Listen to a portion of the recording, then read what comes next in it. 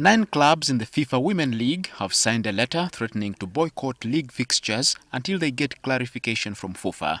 The letter was delivered this morning with one club abstaining from signing.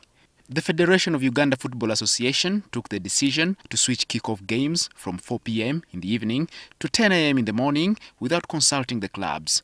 Today's action comes after numerous failed attempts to seek dialogue with FUFA. We opened the floor for discussions. To our disappointment, the chairperson of the meeting told us we should rush the meeting. Reason, he had another meeting with the FUFA president at uh, parliament. The morning kickoffs bring their own challenges, especially financially.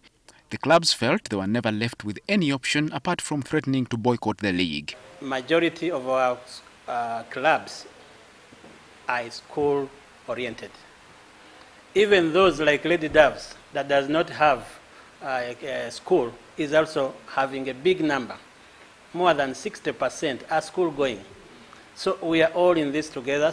FUFA have been informed that no league fixtures will be honoured until grievances are ironed out.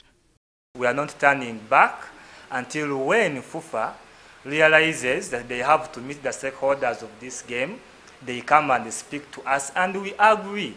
After agreeing on the conditions, after getting the explanations of all the things we are asking, we shall come back and inform you that this is where we have reached. However, FUFA insists the decision was made in the interest of women football. We need to handle case by case and look at is it the pitch? Then we negotiate with the institution and say, are you availing the pitch at what time? Then we can look at individual cases.